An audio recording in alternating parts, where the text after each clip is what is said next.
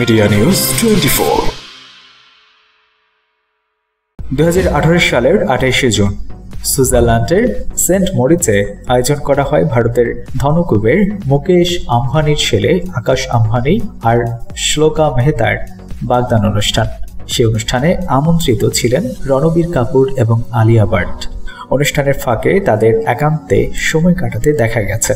DNA জানিয়েছে, Saint মরিচে হাঁটু গেড়ে বসে আলিয়াকে প্রপোজ করেন রণবীর। আলিও তাতে হ্যাঁ বলে দিয়েছেন। এরপর নাকি আলিয়ার আঙুলে আংটি পরিয়ে দেন রণবীর। প্রেমিকার হাবভাব দেখে আলিয়া আবার তখন লজ্জায় একেবারে লাল হয়ে গিয়েছিলেন। সেখানে তাদের কয়েকজন কনিষ্ঠ বন্ধু উপস্থিত ছিলেন। সবাইকে নিয়ে ছোটখাটো একটি পার্টির আয়োজন করেন তারা। কিন্তু এর সত্যতার ব্যাপারে সংবাদ মাধ্যমকে কিছুই বলেননি। বার্তা সংস্থা আইএএনএসকে বলিউডের এই দুই তারকার সঙ্গে সংশ্লিষ্ট একটি সূত্র জানিয়েছে রণবীর কাপুর আর আলিয়া ভাটের বিয়ের প্রস্তুতি চলছে। এই উপলক্ষে ঋষি কাপুর তাড়াতাড়ি যুক্তরাষ্ট্র থেকে দেশে ফিরতে চান। এদিকে ফিল্মফেয়ারের মঞ্চে রণবীর কাপুরের সম্পর্কে রণবীর কাপুরের সঙ্গে সম্পর্ক নিয়ে মুখ খুলেছেন আলিয়া ভাট। গত তেইশে মার্চ সন্ধ্যায় মুম্বাইয়ের বিকিজির জিও গার্ডেনে চৌষট্টিতম ফিল্মফেয়ার অ্যাওয়ার্ড দেওয়া হয়। এবার শান্তু ছবিতে অনবদ্য অভিনয়ের জন্য সেরা অভিনেতা হয়েছেন রণবীর কাপুর।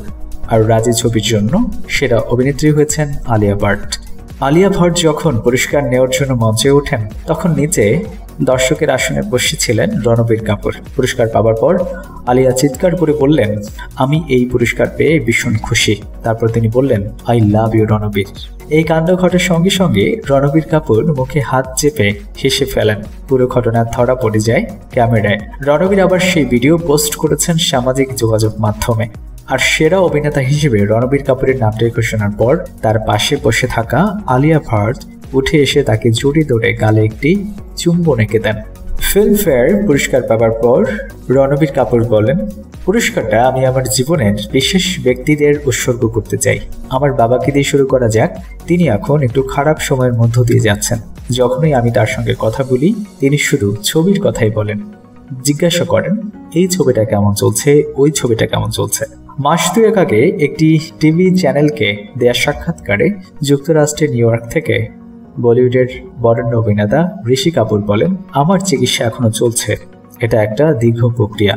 খুবই ক্লান্তিকর। এর জন্য অসীম ধৈর্যের প্রয়োজন। তা আমার জন্য খুবই কষ্টের। আশা করি শীঘ্রই পুরোপুরি সুস্থ হয়ে উঠব। সৃষ্টিকর্তা যদি চান, তাহলে শীঘ্রই দেশে ফিরব। এই সময়টা আমি কোনো সিনেমা নিয়ে ভাবিনি। সব চিন্তা থেকে নিজেকে দূরে রেখেছি।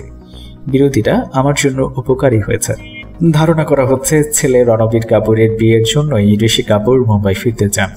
আর তার ঠিক কি অসুখ হয়েছে সেই বিষয়ে পরিবারের কেউই স্পষ্ট করে কিছু বলেননি।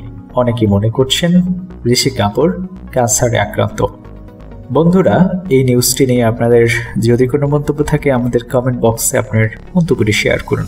ভিডিওটি ভালো লাগলে অবশ্যই লাইক কমেন্ট এবং আপনার ফেসবুক ওয়ালে শেয়ার করতে ভুলবেন না।